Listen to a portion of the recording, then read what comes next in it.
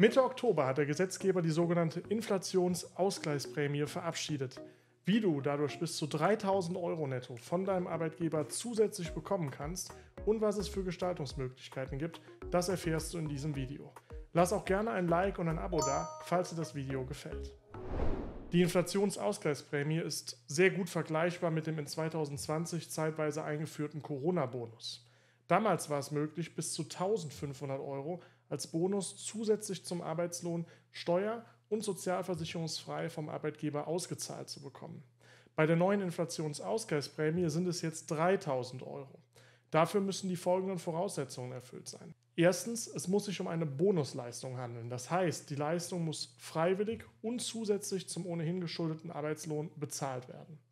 Zweitens, begünstigt sind sowohl Bar- als auch Sachleistungen, wie zum Beispiel die verbilligte Abgabe von Waren. Drittens, die Leistungen müssen zwischen dem 26.10.2022 und dem 31.12.2024 gezahlt werden. Viertens, es ist nicht erforderlich, dass ein Arbeitnehmer in irgendeiner Form in besonderem Maße von der Inflation betroffen ist. Da gibt es also keine strengen Kriterien.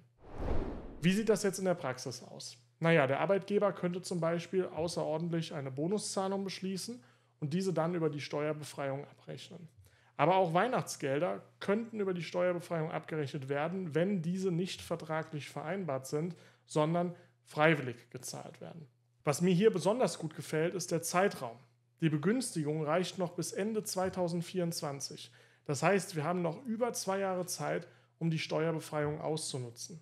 Es ist nämlich auch möglich, Zahlungen zu splitten. Das heißt, der Arbeitgeber könnte zum Beispiel diesen Winter 1000 Euro bezahlen, nächsten Winter nochmal 1000 Euro und in 2024 nochmal 1000 Euro und diese Leistungen jeweils über die Steuerbefreiungen abrechnen, bis eben die 3000 Euro Grenze erreicht ist. Was gibt es da jetzt für Gestaltungsmöglichkeiten? Gerade für Unternehmen kann die Prämie sehr spannend sein. Aktuell stehen viele Branchen vor einem sehr großen Fachkräftemangel und kämpfen um die besten Mitarbeiter. Die Zahlung einer 3000 Euro Wechselprämie, steuer- und sozialversicherungsfrei, könnte also Arbeitgebern zum Beispiel ein gutes Argument bieten, um Talente abzuwerten. Natürlich ist dabei zu beachten, dass diese Prämienzahlung dann eben auch nicht vertraglich vereinbart wird, sondern eben freiwillig gezahlt wird, weil ansonsten funktioniert das Ganze eben nicht. In dem Kontext gibt es aber auch noch eine spannende Möglichkeit, die du auch als Arbeitnehmer proaktiv deinem Arbeitgeber vorschlagen könntest. Du könntest mit deinem Arbeitgeber zum Beispiel ein sogenanntes Arbeitgeberdarlehen vereinbaren. Das heißt, Dein Arbeitgeber würde dir jetzt zum Beispiel 3000 Euro netto als Darlehen auszahlen. Und ihr würdet vereinbaren, dass du dafür eine bestimmte Zeit von Monaten, sagen wir mal 15 Monate, das lässt sich gut rechnen, im Unternehmen bleibst. Also du bekommst quasi eine Zahlung für eine gewisse Bindung. Weil das als Darlehen ausgestaltet ist, ist die reine Darlehensauszahlung, Sozialversicherungs- oder Lohnsteuer rechtlich erstmal gar nichts. Du müsstest jetzt aber natürlich, weil es eben ein Darlehen ist, eigentlich über die nächsten 15 Monate jeweils 200 Euro zurückzahlen. Diese Modelle werden deshalb so ausgestaltet, dass der Arbeitgeber jetzt in jedem Monat dieses 15-monatigen Zeitraums auf die Rückzahlung des Monatsbeitrags verzichtet, weil du ja während dieses Monats in der Firma weiterhin beschäftigt warst. Heißt, solange du in der Firma bist, musst du das Geld nicht zurückzahlen wegen dem Verzicht. Wenn du jetzt nach zehn Monaten die Firma verlassen würdest, müsstest du halt den restlichen Darlehensvertrag, der dann noch offen ist, dann noch ausbezahlen. Dieser Verzicht, das ist aber jeweils eine freiwillige Leistung und diese freiwillige Leistung führt dann zur Lohnsteuer und zu Sozialabgaben. Wenn man jetzt aber einen 3000 Euro Bonus hat, dann könnten solche Verzichtsleistungen auch steuer- und sozialversicherungsfrei abgerechnet werden, wenn das vertraglich korrekt ausgestaltet wird.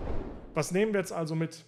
Die neue Steuerbefreiung ist in meinen Augen eine gute Sache, denn so könntest du zum Beispiel in der nächsten Gehaltsrunde auf eine jährliche Erhöhung von ein paar Euro netto verzichten und stattdessen sagen, zahl mir lieber freiwillig, ohne dass wir das vertraglich vereinbaren, die 3000 Euro Prämie. Da hättest du vielleicht netto mehr davon. Oder du könntest auch so ein Arbeitgeberdarlehensmodell nutzen und es hätte auch der Arbeitgeber durch die Bindung, die du ihm dann versprichst, auch etwas davon.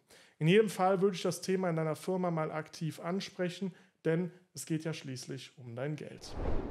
Wenn dir dieses Video gefallen hat, dann lass gerne ein Like und ein Abo da. Auch kannst du dich gerne zu meinem wöchentlichen E-Mail-Newsletter mit regelmäßigen spannenden Tipps abonnieren, damit du nichts verpasst. Schreib mir auch gerne deine Fragen und Anregungen in die Kommentare. Ich freue mich auf dich. Bis bald, dein Ken.